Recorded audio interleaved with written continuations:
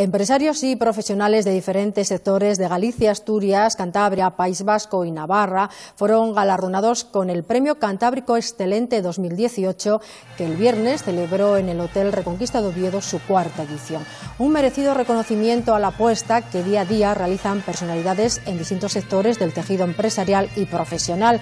tanto en el ámbito local, nacional como en la proyección internacional, poniendo a la marca España en una de las mejores posiciones a nivel mundial. Estos premios, otorgados por la empresa editora de El Suplemento, destacan el valor añadido del talento profesional, empresarial, científico innovador de empresarios y destacados profesionales afincados en las comunidades autónomas que conforman la cornisa cantábrica. Entre los premiados destacan en el campo médico Tuñón en odontología, también Agorastur Formación, la Fundación Oso Pardo, los cantantes de Operación Triunfo, Roy y Miriam, en la categoría de Artista Revelación, y este informativo que ustedes ven, Panorama Regional de Televisión Española, junto con Crónica de Asturias de Radio Nacional de España, los dos en la categoría de informativos de Radio Televisión Española en Asturias.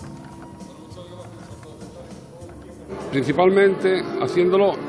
no como se solían hacer las cosas, que eran generalmente muy gremiales, muy sectoriales, o sea, abogados con abogados, médicos con médicos, y abrirlo algo multisectorial para ver diferentes soluciones que aplican desde otros sectores.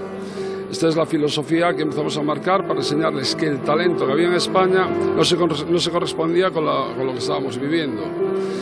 Y entonces eh, decidimos hacerlo así, hacerlo en un entorno distinguido, premiar, creíamos que había muchísimo talento, son más, más de 20 años de experiencia y digamos que el punto culminante es haber formado, constituido un equipo de varios urólogos, que probablemente debía ser la primera vez que nuestra comunidad se ha formado y ese equipo pues eh, se ha hecho un poco ser un poco la, referencia del noroeste de España en, urología. La trayectoria nuestra no es muy larga, ¿eh? llevamos cinco años y medio eh, como centro de formación y sí el crecimiento ha sido muy rápido, teniendo ahora mismo cinco ubicaciones, o sea, en Oviedo, Gijón, Langreo, Avilés y León, la semana que viene. Contentos de estar aquí en, en Oviedo, aparte cerquita de, cerquita de, casa.